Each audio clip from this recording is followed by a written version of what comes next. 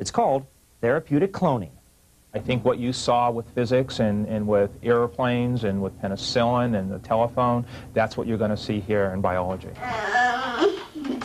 In little Kelly Rich's case, therapeutic cloning could conceivably create new brain cells to replace the defective ones she has now. Thank you. That's why last year, Gordy made a major decision. He sold a company he owned and invested in ACT's therapeutic cloning research, desperately hoping for a cure. It will eventually come. I have no doubt about that.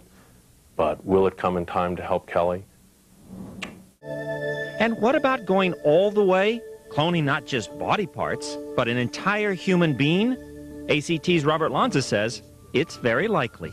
It sounds to me like what you're saying is it wouldn't surprise you if the announcement came out in two or three years that indeed a human had been cloned. No. It's that possible. Yes. Ironically, it would be very easy for Lanza himself to make it happen. All he'd have to do is implant one of ACT's embryonic human clones into a woman's womb and let it grow to term.